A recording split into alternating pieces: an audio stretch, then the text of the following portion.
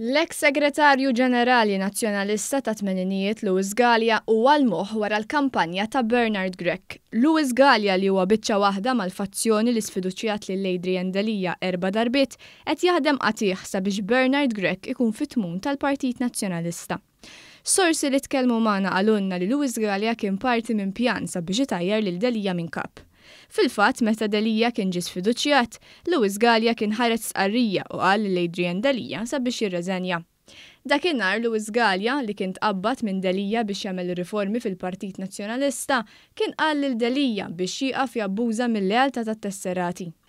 Is-sorsi tagħna fid-Dar Ċentrali qalulna wkoll li Louis Galea kien ilu għaddej bit-taħdidiet ma' Bernard Grech sabiex mal l-fazzjoni ta' Simon Busuttil jirnexxielha ittajjar ras Delia, Bernard Grech jersaq 'il quddiem biex imexxi hu.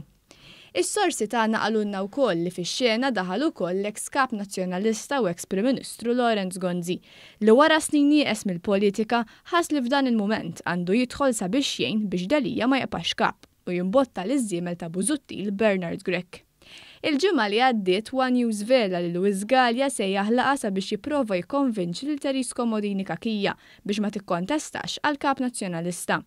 Is-sorsi tagħna qalulna li Roberta Metsola kienet preżenti għal din il-laqgħa u anki lilha, Louis Sgalja qalilha biex toqgħod pass lura.